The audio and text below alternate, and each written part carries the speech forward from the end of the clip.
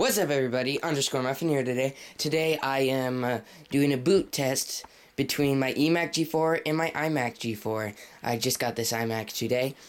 Uh, this will be posted later, probably, but uh, I want to see how which uh, which one will fare uh, versus both of each other. This is a 15 inch 700 megahertz. This is uh, 17 inch 700 or uh, not 700 uh, 1 gigahertz uh, they both have the same RAM right now, so let's see which one will start up faster. Putting that right there so I can find the power button. Alright, three, two, one. That one did the bong first. But which one will get to the screen faster?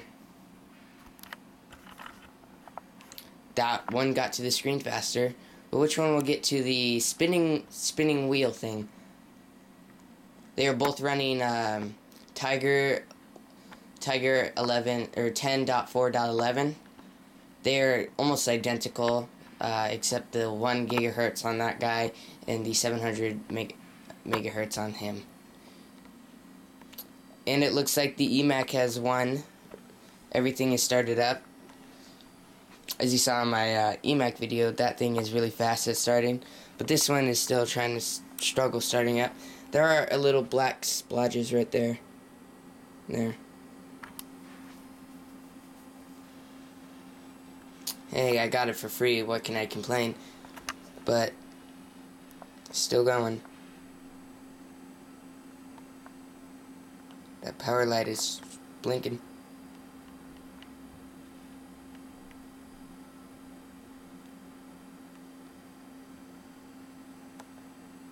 This thing is really slow to start up.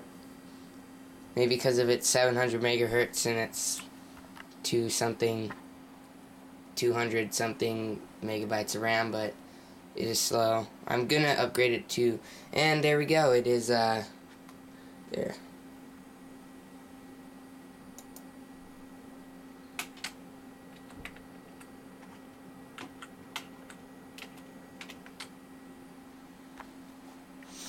And that one is started up.